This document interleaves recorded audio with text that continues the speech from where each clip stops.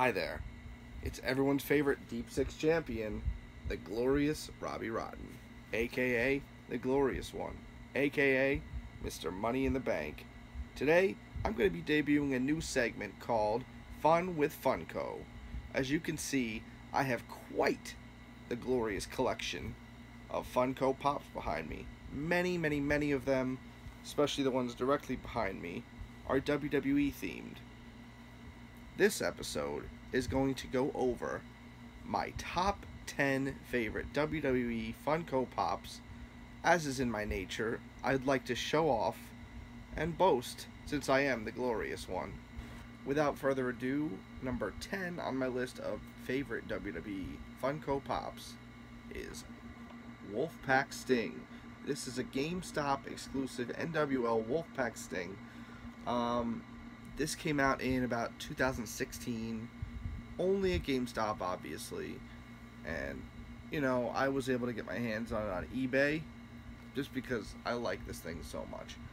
Um, who doesn't love the Stinger? And the classic, the classic white face paint is awesome, but something about the red just really speaks to me a little bit more. So I'll go with this one for number 10. Number 9 is The Undertaker. See, this one is one of the older ones on the list. This one came out in 2014. Um, and it's really hard to get your hands on anymore, even though it's a common one. You could you could have gotten it at any store at some point, but now it's been what they say what they call vaulted, which means it's been completely taken out of the line. So you won't find this anymore anymore, which is makes it even kind of cooler to me. And it's the Undertaker. The Undertaker is probably the most legendary figure in wrestling history. So I gotta put him on the list, you know.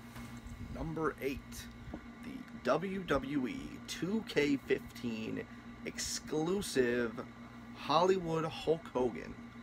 See, I actually did not buy this. I won this in what's called a waffle, which is basically just a raffle on Facebook. I guess raffles are illegal on Facebook, so they call them waffles. So, you know, I bought a spot and I ended up winning this really sick pop. I wanted it for a long time, but it was pretty pricey, so I figured, you know what, why not just try to win it? And I did. And look how awesome this is. The detail is really cool. Uh, Hollywood Hogan was really iconic for me as a kid because I grew up more in the Attitude slash Monday Night Wars era. So this was the Hulk Hogan that I really remember from when I was a kid. So this has got to be the one for me. Number seven, we have the Chase Triple H Skull King with the mask and sledgehammers. Look at that. That is sick. I don't know how well you can see it because of the glare of the, you know, the pop protector. I'm sorry about that. But I like to keep my boxes in the best condition possible. Um, the detail on this pop is just awesome. I love the mask. As soon as I saw it, uh, this came out last year. So as, I, as soon as I saw that this chase was a thing, I needed it. And I searched all over the place and finally I found it in, it was a Target, I believe, outside of Pittsburgh. And I was super stoked to find this thing because it is just awesome. And number six, I have this Chase Finn Balor pop, which again, I did not buy. I traded something with, I don't remember exactly what. I know I got this pop, this Chase, and I got a Razor Ramon chase, which was kind of close to making the cut. It was just in his NWO gear. It wasn't too much different, so really it was a Scott Hall.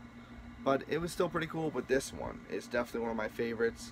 Just, I love how, how good the paint looks. It's ridiculous how much they can do with this little figure. Oh man, Funko, I love you. You guys are awesome. And number five, another pretty rare one, the WWE 2K19 Woo Edition exclusive Ric Flair, which comes with sunglasses and the championship belt. That's awesome. This is the only Funko Pop to have any championship belt. And Ric Flair is an icon, one of the greatest of all time, if not the greatest of all time. And just come on, look at it. It's so cool. I could not help but put this on my list. I actually bought the Woo Edition solely for this pop, pretty much. Guilty. Number four, this one is not one anyone's going to get their hands on really easily. This one is really hard to find. It is the WWE Shop slash WWE Live Event exclusive Macho Man Randy Savage with the pink and black bandana. This one, let's just say I spent a decent amount of money on this on eBay just because it's so cool. There are three Macho Man Randy Savage figures, and this one is by far the coolest one in my opinion. I just love that WWE exclusive sticker right there. Something about it, I just love it. It's one of the best in Funko for me, and I just had to have this one. Macho Man is another icon, and of course, had to have it. Number three, and making his second appearance on this list, we have the FYE exclusive Finn Balor in the headdress as the demon. Again, the cool deco from the first one with the paint and everything, times two on this one at least. Times two, I guess. Whatever. Just so much cooler because the headdress. He's got the paint. Looks awesome. I love the way his eyes look like he's really angry. Looks like he's ready for a fight. Finn Balor is one of my favorite superstars. Probably my favorite superstar nowadays. But I just love this pop. And as soon as it came out in 2016, 2017, whatever it was, I believe it was 2017, I ran out to FYE and got it immediately. So, number two. This is probably the only pop on this list that you can run out to FYE and grab it right now. It is the FYE exclusive Seth Rollins SummerSlam 2015 white gear. I just really love that white gear that he wore at that SummerSlam. And I don't know, I really like the look of this pop. It's really cool. Rollins is another one of my favorites. And I just love the gear. Again, as soon as it came out, I bought it. I think that was 2016. And honestly, you can still find it in FYE today. You go there, and they the box, the sticker is not as nice as this one. It's kind of like a cheaper looking sticker. I think a lot of their boxes got kind of messed up or something and they just maybe the stickers got ripped off and they just threw an, a new sticker on or whatever and sell it like new whatever they can do. But yeah this one is number two. Before I reveal number one I want to go over some honorable mentions that very very nearly made the list but just didn't quite make the cut. First we have the Ultimate Warrior from 2015 the Ultimate Warrior is just a classic classic superstar I love the face paint he just looks perfect and I just really love this figure, you know? He's really cool. Next, there is the Walmart exclusive Asuka.